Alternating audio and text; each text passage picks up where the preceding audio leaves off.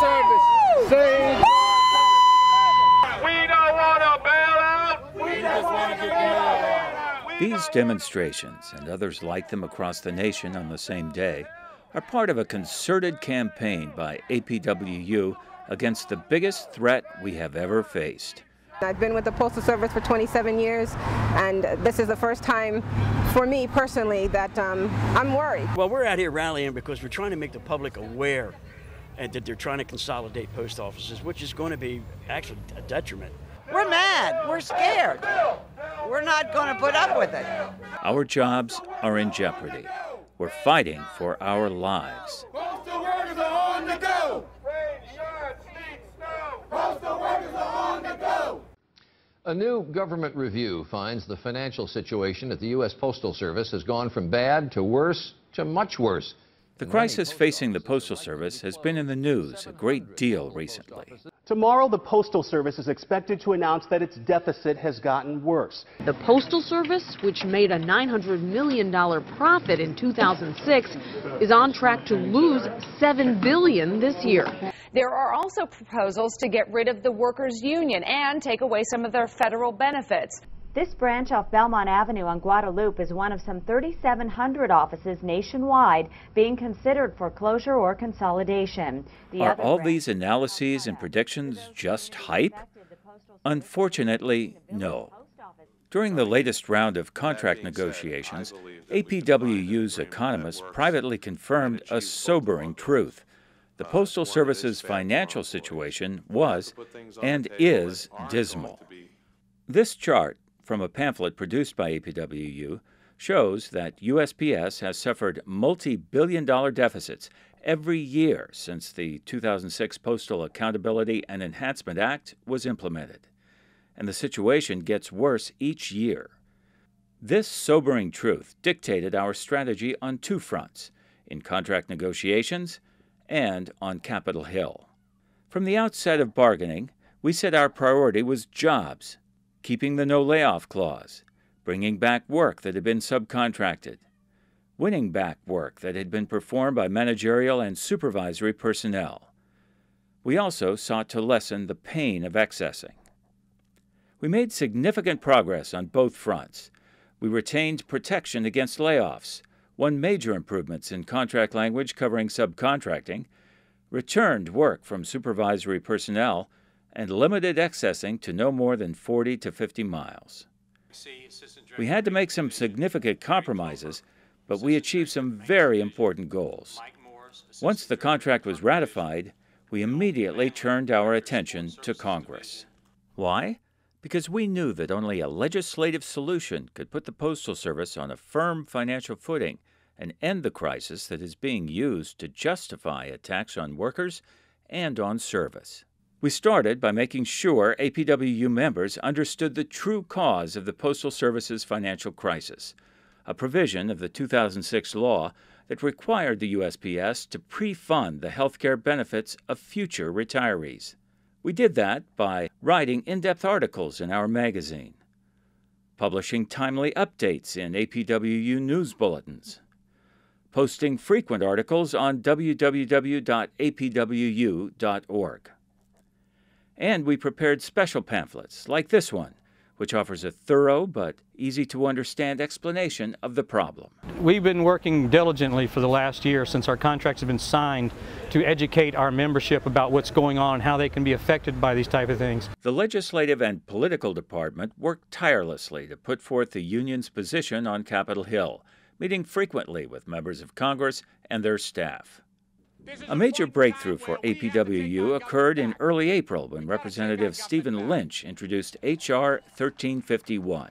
This bill would put the Postal Service on a firm financial footing by giving the USPS credit for billions of dollars in overpayments to its pension accounts and applying the credit to the pre funding requirement. The National Union put out a call to get co sponsors for H.R. 1351, and the locals and state organizations stepped up meeting with their U.S. representatives and asking them to sign on as co sponsors. The legislation would address the overfunding problem and stabilize the USPS without laying off workers. To encourage APWU local members to write to their congressman, we sent this personalized mailer to every APW member and retiree, even to non members, to make it as easy as possible. The mailer included a tear off card with the name and address of each recipient's representative. Tens of thousands of these cards were sent by the rank and file to their congressman urging them to sponsor and support H.R. 1351. In working to get a good bill like H.R. 1351 passed, APWU relies on the support of great congressional friends like these. Congress has to take responsibility for the fact that we're part of the problem. We're part of your problem. And we need to get off your back and release the creative energy we know you got to return the Postal Service to fiscal solvency. The postal workers didn't create this recession. The postal workers didn't put uh, arbitrary limitations on what the Postal Service can do, and the postal workers didn't require 100% prepayment of their pension fund. The only agency of the federal government required to do that. We need to give you some relief so you can do your job. So over and over again, what we hear on a daily basis in the committee and by the way, I'm on the committee that deals with this issue, you know. We hear stuff about furloughs, cutting service, firing people, all those kinds of things. So I don't want anybody going around saying that it is the postal employees' fault that this has happened. A political reality that we have to deal with is that Republicans have controlled the U.S. House of Representatives since January of this year. Representative Darrell Issa, the chairman of the House Oversight and Government Reform Committee, has steadfastly refused to allow H.R. 1351 to come up for a vote.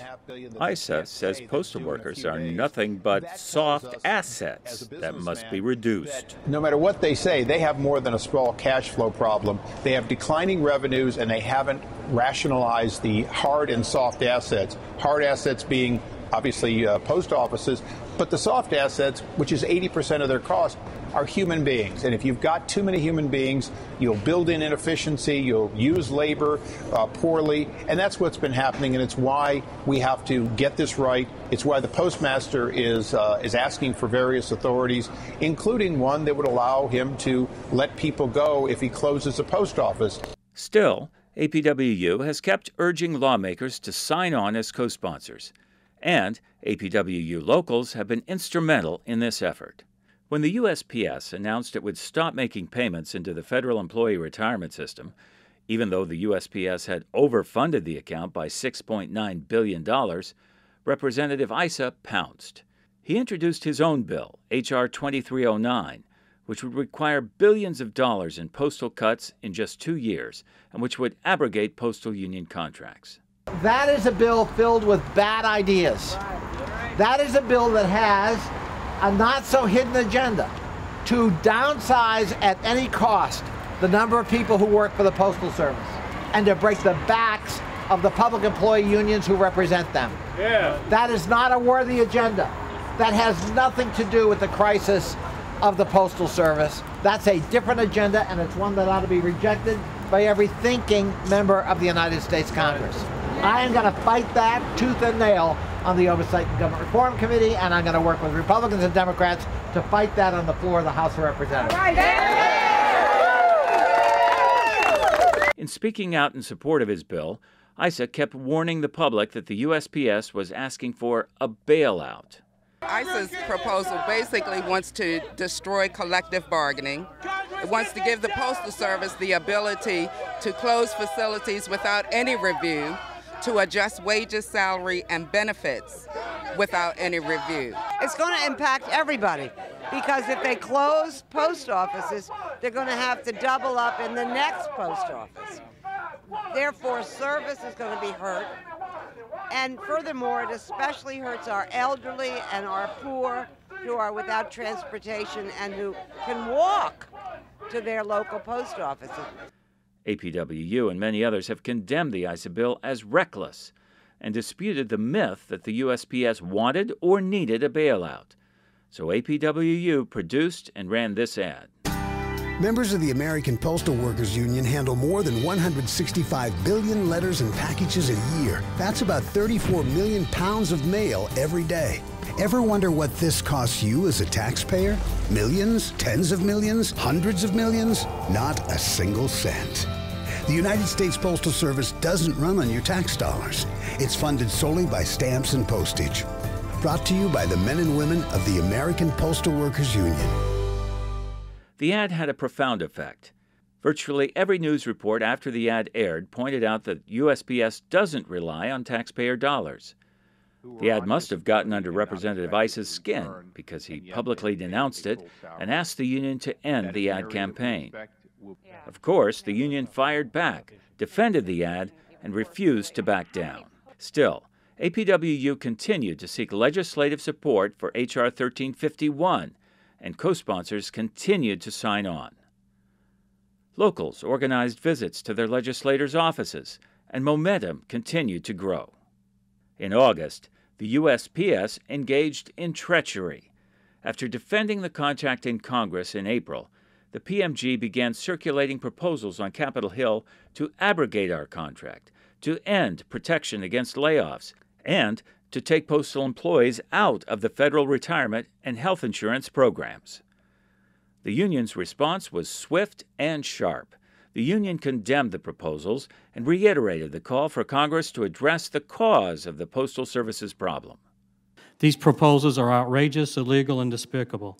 We work very hard to, to allow the post office to adapt as quickly as they can and, and we did that in exchange for certain things, including keeping our health benefits the way they are. We also uh, uh, wanted to stay in the federal retirement system. All these things, the no layoff clause, all these things were talked about, and we achieved these, this collective bargaining agreement by giving up certain things. Now they want to come to the uh, Congress and say, oh, we got this part of the deal, give us this part back. We think that's totally improper. The fact of the matter, agreement is agreement. And this bill before Issa, that's the Postal Service, their, hand, their, their hands are over it, all over that. That bill came about after the Postmaster General visited his office. An attempt to undermine the union. He didn't deal in good faith. An agreement is agreement, and I don't care what he does, that agreement stays intact. Soon thereafter, the APWU launched a second ad this one aimed at informing the public about the benefits of H.R. 1351. This time, we were joined by our brothers and sisters in the National Association of Letter Carriers and the National Postal Mail Handlers Union. The Postal Service is critical to our economy, delivering mail, medicine, and packages. Yet they're closing thousands of offices, slashing service, and want to lay off over 100,000 workers. The Postal Service is recording financial losses that not for reasons you might think. The problem? A burden no other agency or company bears. A 2006 law that drains 5 billion a year from post office revenue, while the Postal Service is forced to overpay billions more into federal accounts. Congress created this problem, and Congress can fix it. But still, Representative Issa refused to allow H.R. 1351 to come up for a vote. Instead, he brought up H.R. 2309 for a vote by the Postal Subcommittee.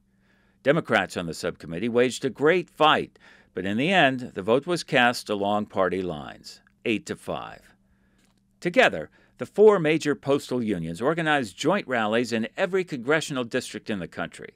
Our goal was to tell the American people the real cause of the USPS crisis, thank co sponsors of H.R. 1351 for their support, and ask legislators who hadn't signed on as co sponsors to do so.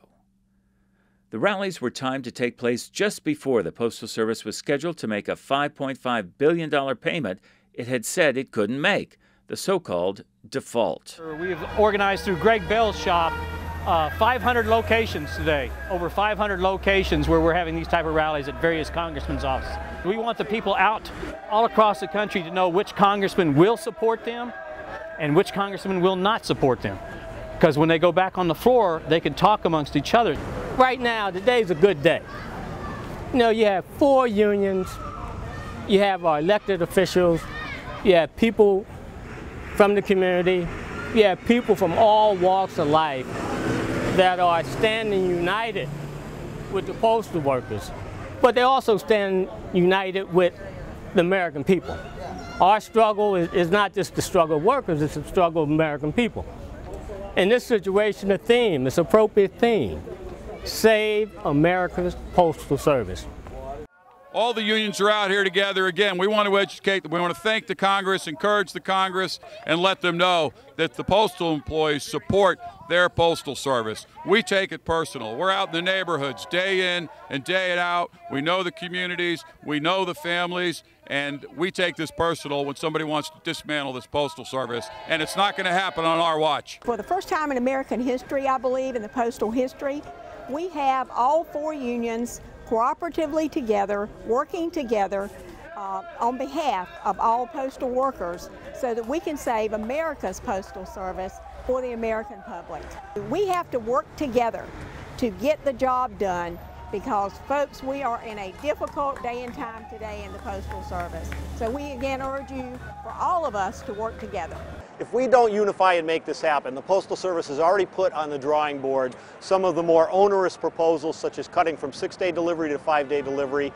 They want to uh, trit 100,000 jobs through retirements. They want to then lay off 120,000 more people out of a 560,000 person workforce.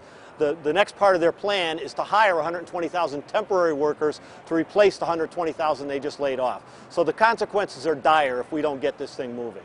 Uh, the support today was fantastic. It was great to see all the other crafts out here, the other labor unions, our brothers and sisters from the laborers. By all accounts, the rallies were a great success, getting our message to the American people, the media, and legislators. H.R. 1351 got four more co sponsors that day, putting us over the top with a majority of the House listed as co sponsors, including 26 Republicans. But we're still in the early stages of our struggle.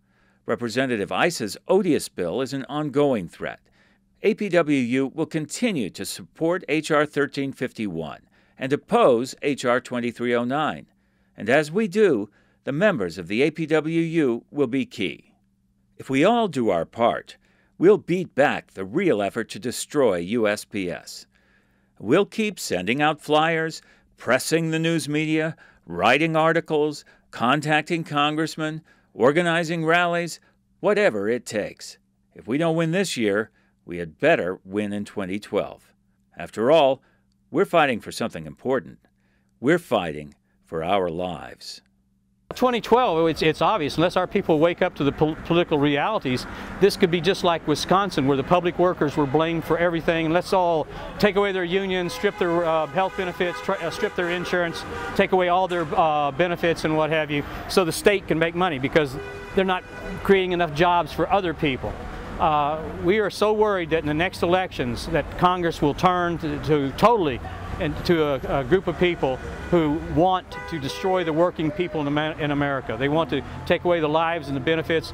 They want to take us back to the 12th century uh, where everyone said, uh, yes, my lord, no, my lady, and this sort of thing.